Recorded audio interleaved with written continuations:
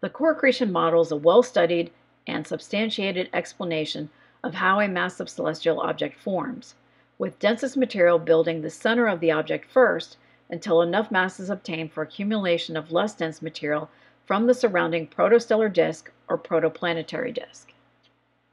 Here we're looking at the formation of a massive celestial object, which is a protostar, and the protostar is located in the center with the protostellar disk surrounding it. The protostellar disk ejects material in jets perpendicular to the protostellar disk. Surrounding the entire system is a nebula.